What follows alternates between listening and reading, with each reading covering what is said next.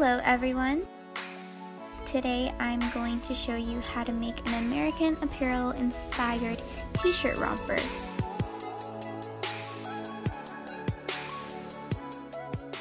First, trace the front and back of a pair of shorts that fit you. If the waist is elasticated, add about 2 inches to the waist of the pattern pieces.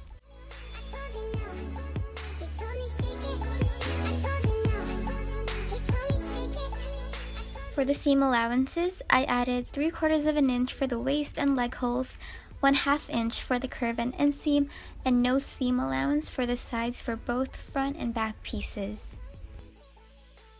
The stretch of the fabric should go horizontally across the pattern. Next, take a shirt that fits you and trace around the front half of it, minus the neckband and the sleeves. For the seam allowances, the bottom of the shirt is 3 quarters of an inch, the sides and armholes are 1 half inch, and the neck hole is 1 quarter of an inch. Then you do the same for the back of the shirt. The stretch goes horizontally across the body. And then I measured 4 inches from the neck hole to indicate where the slit is for the button closure later on. Next, trace a sleeve. The top of the sleeve is labeled fold because the pattern will be cut on fold and the rest of the sides should have 1 half inch seam allowances. The dimensions of the button loops are an inch by 2 inches with the most stretch on the longest side. I wrote to cut out 3 but it should be 4. Next, fold your fabric making sure that the stretch is going perpendicular to the fold and then place the front shirt pattern piece with the part marked fold on the folded edge. Then you cut around the pattern. Do the same thing for the back piece. Then cut two sleeves on fold. Next, on two layers of fabric with right sides together, Place the two short pattern pieces next to each other so that their sides line up. Then cut around the pattern so that you get two massive pieces for the shorts. I did this because I didn't want side seams on my shorts. Then cut out four rectangles for the button loops.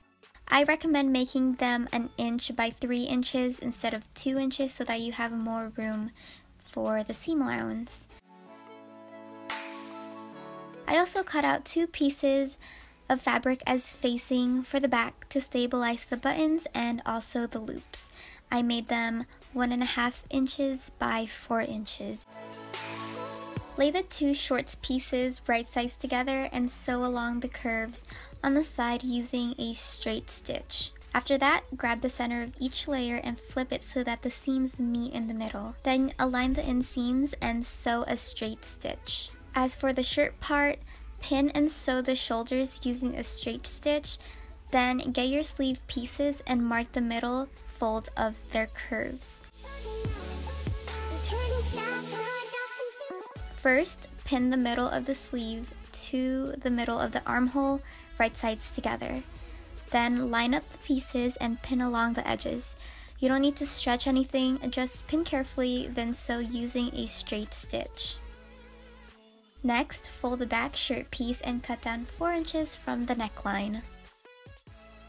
After that, with right sides together, pin along the sides of the shirt, then sew both sides using a straight stitch.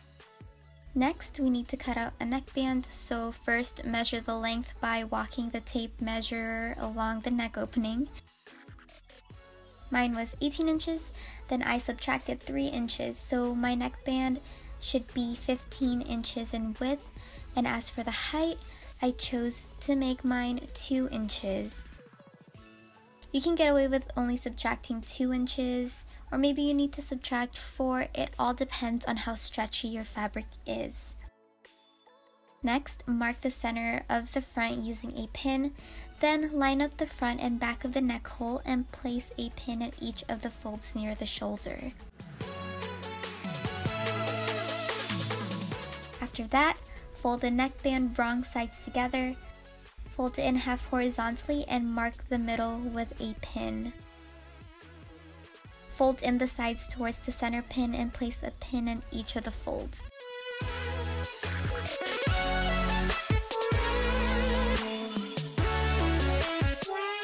Also, place a pin about half an inch from each end. To sew the neckband, line up the center pins and stretch the neckband to the next pin as you sew them together using a straight stitch. Then stretch the last neckband pin to the edge of the back slit and then sew. Do it to the other side as well. This ensures that there's even tension along the neckband so that it lays nicely on your collarbone. It should look like this. Next, I decided to sew a zigzag stitch right under the neckband and I also hemmed the armholes using a zigzag stitch to allow for stretching. Then pin facing to the right edge of the slit, right sides together and sew only along the facing with a straight stitch. Then fold the piece over. Also tuck in the seam allowance of the neckband. Then you top stitch all the way from the neckband down to the very bottom of the slit. To make a button loop, fold each of the sides to the middle of the strip, then fold in half long ways one more time.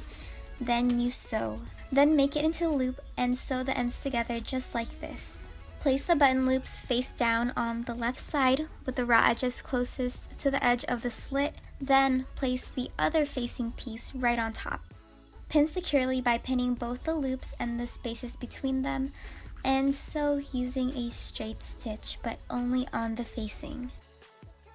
Then flip the facing to the inside and top stitch it all the way down after you tuck in the seam allowance of the neckband and tuck in a little button loop in that space.